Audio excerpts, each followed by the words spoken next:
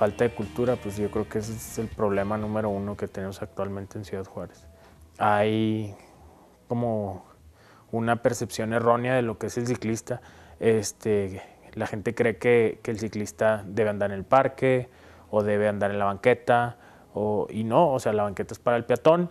El ocupar un carril que para el automovilista es de su uso exclusivo, es, es, como una ofensa para el automovilista. El reglamento de tránsito considera la bicicleta como un vehículo. Puedes andar en la calle sin ningún problema y puedes tener un carril completo y la gente cree que no podemos ir en un carril.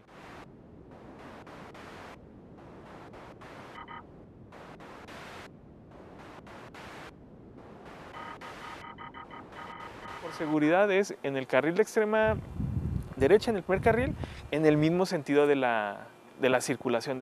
También es importante que vayas señalando cuando te vas a cambiar de carril para avisar a los carros que vas a dar vuelta.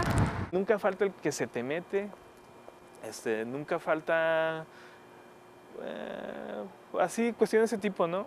Eh, por ejemplo, con el transporte público, yo ya he aprendido cómo hacer para que me den mi lugar, ¿no? Que es esto de tomar el carril. Si me voy yo muy a la orilla, se me pegan.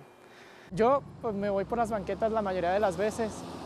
Sin embargo, hay banquetas que sí están buenas, como la Tecnológico o Gómez Morín, que sí están padres para usar la bicicleta porque están anchas, tienen rampas, pero hay otras banquetas que simplemente no me permiten usar la bicicleta sobre ella. Uh, trato de usar la, uh, la vialidad de automovilística lo más posible, más sin embargo no puedo porque no hay ese espacio necesario entre el ciclista y el auto y hay veces en las que pasan coches muy cerca de mí. Una vez me tumbaron y una vez me caí. Me caí casi al principio, cuando empecé a hacerlo, precisamente porque no sabía cómo moverme.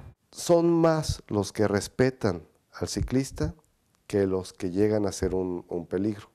Tal vez la cuestión es que ese que llega a ser un peligro, eh, pues si no se fija puede matar al ciclista. Está Río Grande, donde está la parada de autobús.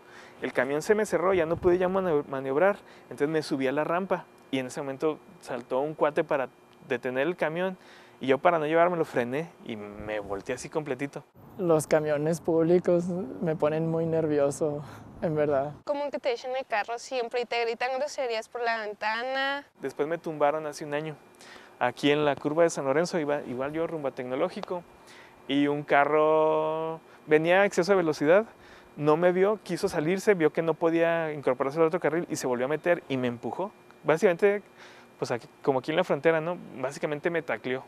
Entonces cuando me pega, yo me fui de lado y caí, caí pues con la parte de atrás y luego me resbalé un poquito con el, con el codo y me, de ahí no pasó, anduve un día con dolor de un lado, en la pompi, anduve como una semana con esto raspado y hasta ahí. Choqué con una compañera ciclista por esquivar un bache porque no, la verdad no me alcancé a salir del carril. La vez que sí choqué fue cuando un señor venía en una van que no tiene ventanas, de esas que son tipo de trabajo.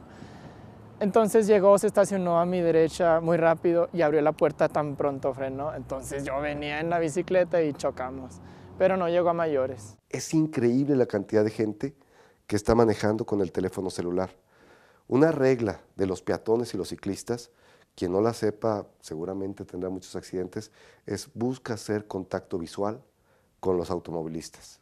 Si te ven, si tú los ves y te ven, podrán hacer, ponerse de acuerdo para ver quién pasa primero, quién pasa después algo.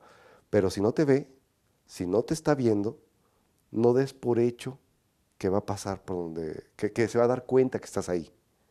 Si no te ve, es porque realmente luego va a decir él, salió de la nada. Es una cuestión terrible. Creo que también al ciclista le ha faltado un poquito eso respecto a sus derechos y obligaciones y a nosotros los automovilistas nos ha faltado también el conocer cuáles son los derechos del ciclista y de esta forma respetarlos ¿verdad? cuando los veamos en el camino. Y la verdad yo tengo miedo de siempre ir a la escuela y que pues vaya a ocurrir un accidente porque pues no, la verdad no, no hay una cultura donde te respeten. No entendemos que el ciclista pues está en una situación vulnerable, ¿no? No es lo mismo a la hora de haber una colisión, una colisión entre un automovilista y un ciclista, pues obviamente el ciclista siempre es el que sale más, mayormente perjudicado. Como tripulante de un vehículo, uno tiene que tomar su responsabilidad y, y circular de manera adecuada, ¿no? O sea, si hay enfrentamientos, pero se pueden negociar, creo yo que se pueden negociar, ¿no? No uso casco, solo uso guantes.